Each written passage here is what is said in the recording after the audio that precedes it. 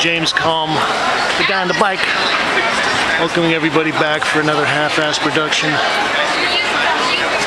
And today we're coming to you from Rivington Street and the world famous ABC No Rio. One of New York's classic alternative alternative spaces. ABC No Rio is a longtime stalwart of the East Village and Lower East Side. I believe this was founded maybe in the late 70s, early 80s after a show that was called the, the Real Estate Show, where a couple of alternative art groups. Got together and took over a storefront on Delancey Street.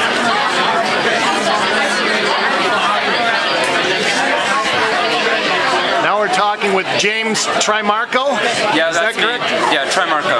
Okay, and uh, I was just wondering, uh, this is kind of a uh, celebration of uh, the new project you've got to uh, renovate uh, ABC No Rio. Can you tell us a little Yeah, bit about that? We're not technically renovating this building. Um, our plan is to is to demolish this building and to rebuild. You're going to demolish the building and build a whole new thing. We are planning to demolish this building and put up a new one. And there- like our architect told us that in order to, rebuild, we would basically have to hold the top up with steel poles, rip out the whole bottom, and you know start from scratch. It would actually be more expensive than building new. So now, what is the organization that's uh, basically getting together to do this? Is this uh, still uh, Colab, or is this advanced to something else at this point? No, it's just ABC No Rio. Colab is defunct and has been defunct since the All those 80s. people have sort of moved on. If people wanted to make some donations, is there a place on the website or something that they can There send donations? definitely at ab, www.abcnorio.org. There is like right on the front page, donate to the building fund, and um, you know what's at stake is the presence of a of a permanent space in the Lower East Side for DIY arts and activism, and you know I That's think do it yourself, really, folks. That's that's do it This is the grassroots. This Yeah. is this, and it's been been a grassroots organization for how much? How many years now? Since 1980. Since 1980. yeah. Okay, and, and the exhibition down here are architectural uh, renderings of the proposed That's new correct. ABC No Rio. The new building would um, double the performance and exhibition space. And, you know, I mean, everybody who works in here suffers a little bit because the building is drafty, um, leaks like crazy when it rains. And city just give them an old abandoned building to get them out of the uh, the building that they had uh, occupied on Delancey Street? well, they gave them a very run down building and Right. they gave it to them as a rental. There were actually families living upstairs when the um, Colab artists moved in in the 80s, though. In 1980, there were people living here, families. Yeah. And so you basically are a neighborhood grassroots art organization. You show visual arts, you do performances. What other kinds of outreach programs do you have here? Well, we do a lot of other things. Um, we provide meeting at space. We provide personal space to a theater group. We, pro- we provide a kitchen to the local chapter of Food Not Bombs. We have um, the cheapest uh, screen printing shop in New York City that you can use for a, a mere Cheap like $5. screen printing. We have um, the cheapest dark room in the city that you can do like developing and printing in. Okay, give us your web. Give us give us the website again. And the, the website is um, www.abcnorio.org. abcnorio.org. Thanks a lot, Mr. Trimarco. Thank you.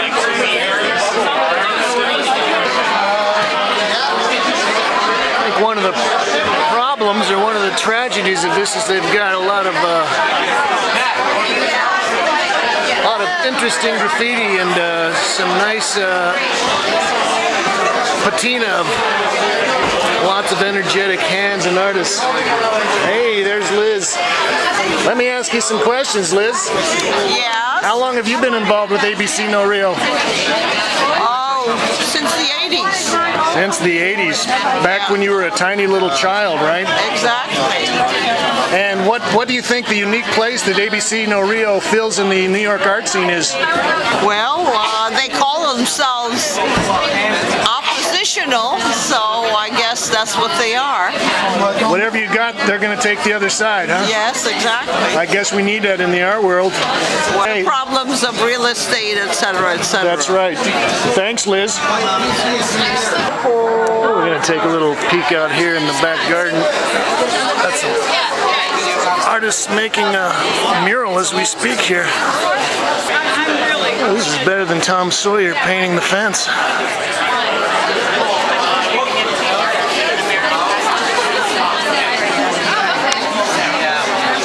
Okay, here we are with the. Are you guys the founders of Broad Thinking? Yes, we are. All right, introduce yourselves. Oh, Chris Toomey. Chris Toomey, Yes. Peggy Cyphers. This is this is the broad thinking part of the exhibition here. We're tracing the history of That's Stephen Hines? through the millennium. It is. He's another alternative guy. Oh boy, let's see if we can make it upstairs. This is as bad as the Stan Brakhage movie, huh? Struggle, struggle, huh? This better be worth it. Well, certainly. Oh boy, we, we made it.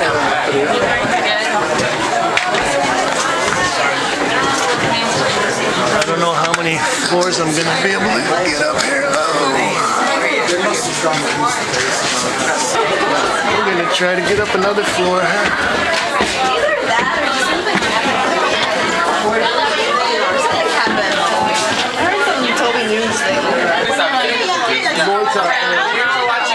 This may be on the legal capacity of this building.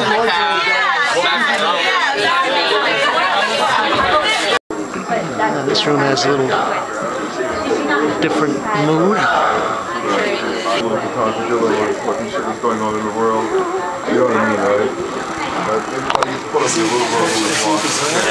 Well, we've come this far, we may as well go all the way to the top. This is ABC No Rio Print Shop.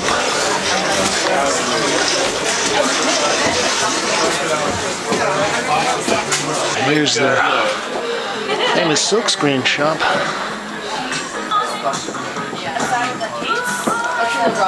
Speaking with Stuart Nicholson, and tell us about your little installation you've got out here in the hallway. Well, it's not just mine. It's, it's a group group uh, installation called Sublime Subprime. Uh, related to the mortgage industry, but ma- mainly related to artists who are being pushed out sometimes.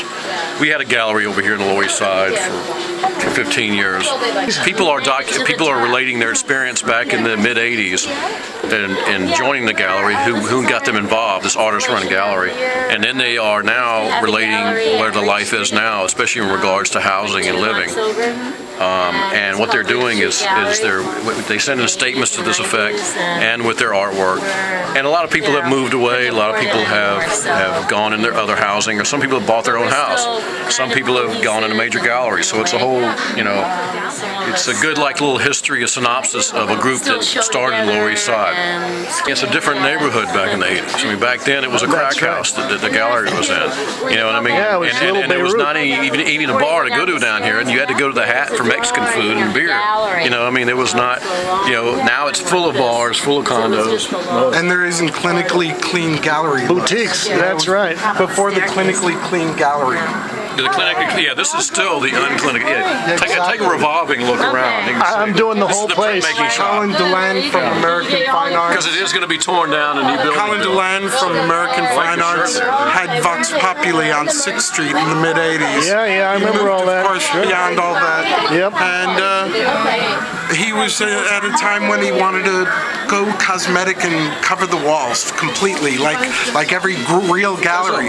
So for a while, he fought over whether he should keep the place natural or whether to slick it up and be clinically I clean. have nothing to say. Okay, well, thank you, said it all folks. Thank you very much. This is James Kalm reporting to you from East Rivington Street. 156. Captain? Howdy. And the Ides of March show here at ABC No Rio. Thanks, Kate.